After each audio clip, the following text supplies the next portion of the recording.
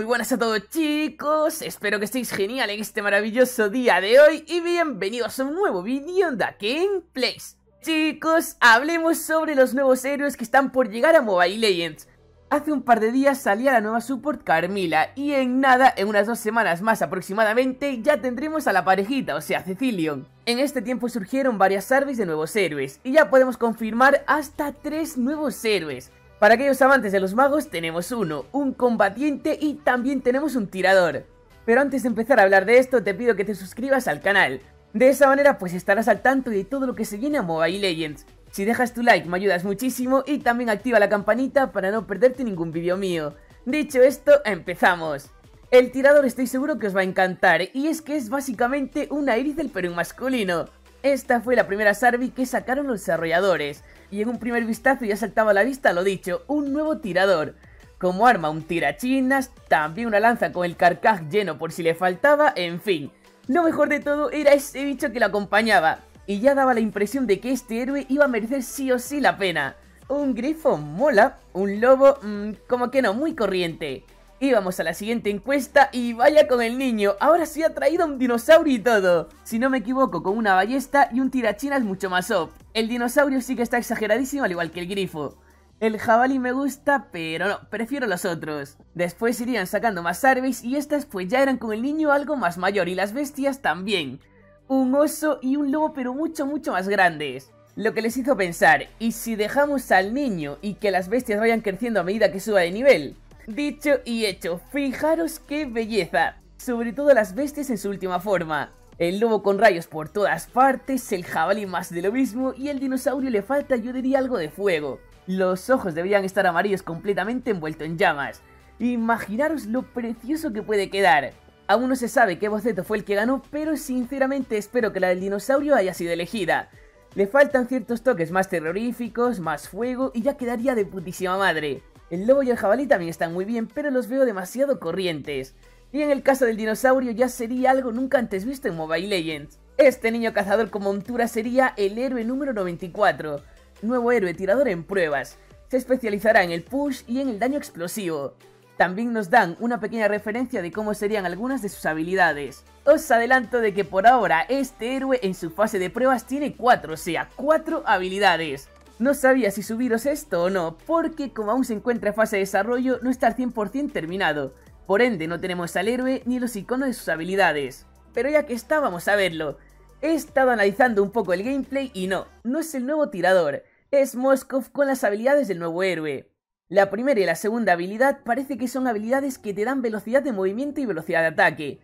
En todo el gameplay cada vez que las pulsa no hace nada pero nada de daño.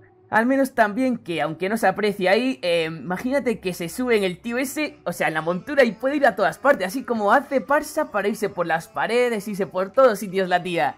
Pero luego llega el momento de la tercera y fijaros en el daño y en el rango que tiene. El bot se va alejando cada vez más y el daño como que le sigue, o sea, cada vez más lejos y le sigue infligiendo más daño. Y la ultimate es sin duda lo que más os va a molar.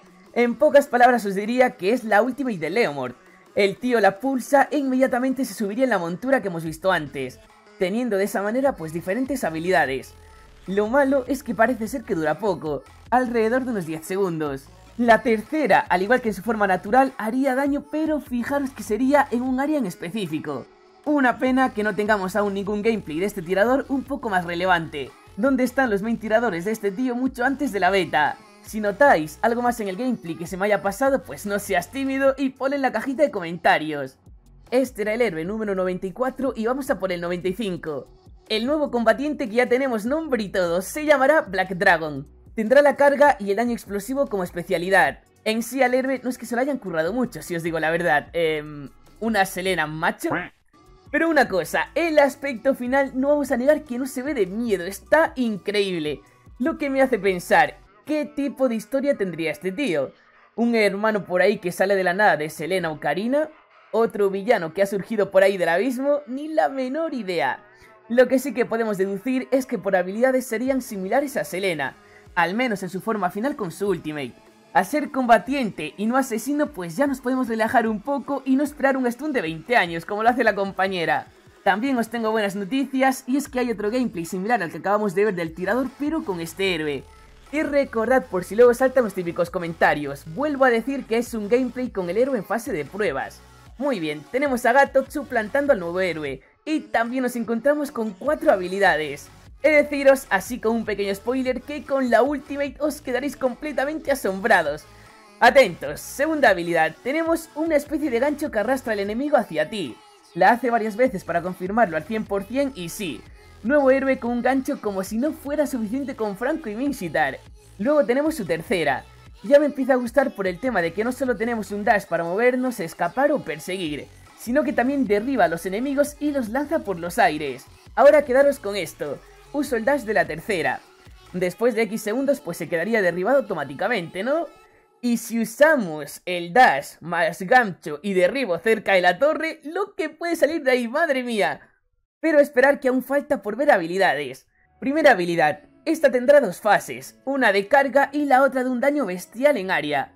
Cuanta más carga, pues como es normal, más daño. Para limpiar minions, esta habilidad nos vendría las mil maravillas. Por aquí la vemos más veces. Y finalmente, damas y caballeros, tenemos la Ultimate. No lo termino de entender muy bien, pero por favor, vamos a disfrutarlo.